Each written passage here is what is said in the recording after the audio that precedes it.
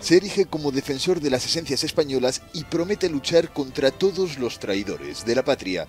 El independentismo catalán ha impulsado al nacionalismo español del que Santiago Abascal es su más ferviente adalid. Separado y padre de cuatro hijos, fue criado al calor del Partido Popular, donde ingresó con solo 18 años.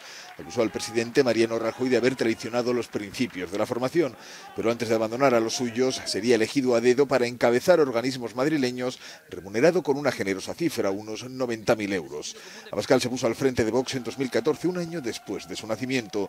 Tras su éxito en Andalucía, será con toda seguridad el primer partido de extrema derecha en tener asiento en el Congreso desde hace cuatro décadas. Desde allí defenderá a España, o mejor dicho, su idea de España.